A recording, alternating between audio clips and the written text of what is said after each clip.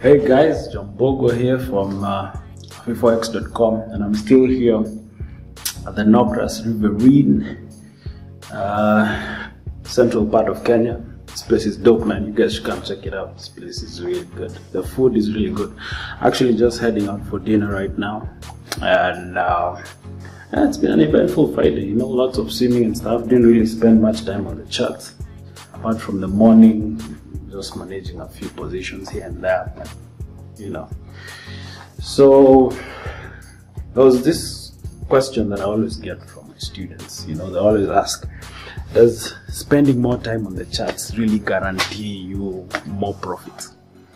You know, what do you guys think, especially the traders who are watching this? Like, do you think spending more time on the charts actually gives you better results than, you know, spending less time?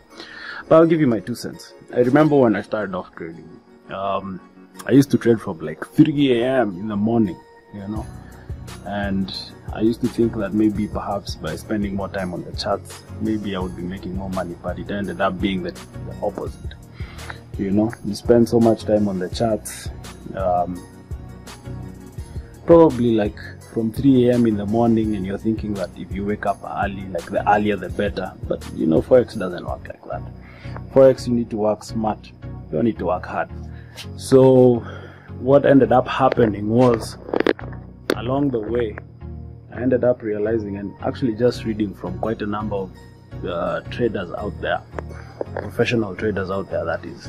I ended up realizing that these guys actually spend the least amount of time on the charts and make so much money. You know, you end up waking up so early in the morning, especially for the rookie traders, guys who are just getting into it, end up spending so much, so many hours only to get frustrated. You've done 30 trades in a day, but all you have to show for is $10 or maybe even losses. Worst case scenario.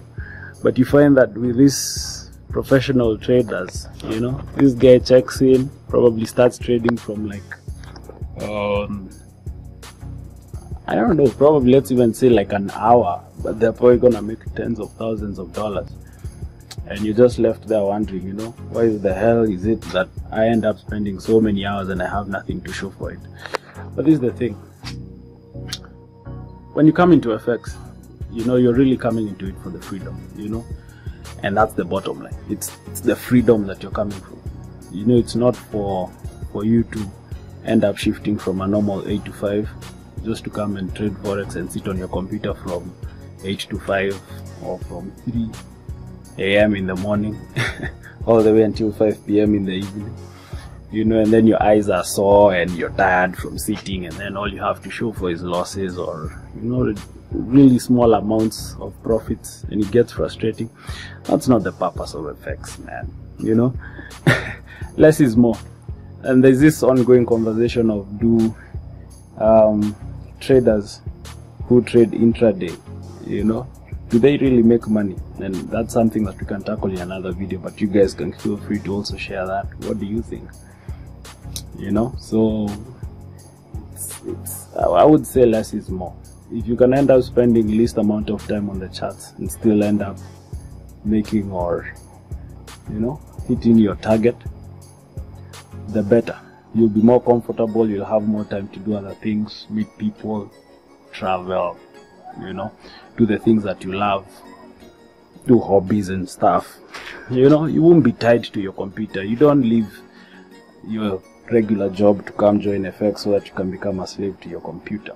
So that's the answer I would give to the people out there who would be wondering. And you know, for those of you who are traders and you've tried it out, you know, like especially like trading from early morning all the way until evening, you know, how was your experience? You know, that was my experience. It was really bad. You know, and I ended up learning that less is more. So nowadays, what I normally do is I only trade the London session from like 10 a.m. Kenyan time all the way until around 1. If I'm gonna be leaving trades, I'm just gonna leave them. You know, I'm not gonna really be back on the charts and probably end up trading like 3 4 hours in a day. In fact, even that's long, sometimes even an hour and max set and go. Because ideally, the approach that you need to have is set and go.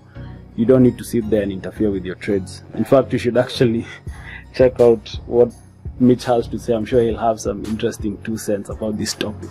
The only time I would actually suggest um, you to spend more time on the charts would be if ideally you're practicing on a strategy, backtesting. That's when you should ideally spend more time on the charts. But if you're ideally trading, you know, live trading, you shouldn't spend a lot of time on the charts. And let me even give you this this this analogy of athletes, you know, footballers. Let's even say footballers and athletes. How much time do they spend practicing? These guys spend hours and years of practice, but performance time, like in a live match situation or in an actual race, actually takes like a matter of minutes. Think of Usain Bolt. You know, he's been practicing or he's like all his life, but the amount of time he actually ran some people say it's less than two minutes yet he has so many gold medals and awards to show for you know and records and stuff. You know same thing with the footballers. You spend the whole week practicing for a match that you're gonna play at the weekend over the weekend. You know so if you're gonna spend a lot of time on the charts it better be testing and back testing and practicing your strategy and perfecting it. But when it comes to the actual trading man, you shouldn't spend a lot of time on the charts because it ends up affecting you psychologically, you know. Unless it's more approaching forex, will actually make you way more money. Okay. Alright, guys. So feel free to comment, share, blah blah blah. You know that stuff. You know the drill by now. Write to me, jmbogwa at afri-fx.com in case you wanna, you know, learn about anything or know about anything FX, guys are more than willing to help you. Also, visit www.afriforex.com. Us guys are more than happy to help you guys out. So, I guess I'm gonna go eat dinner. So, until the next video, guys, happy trading.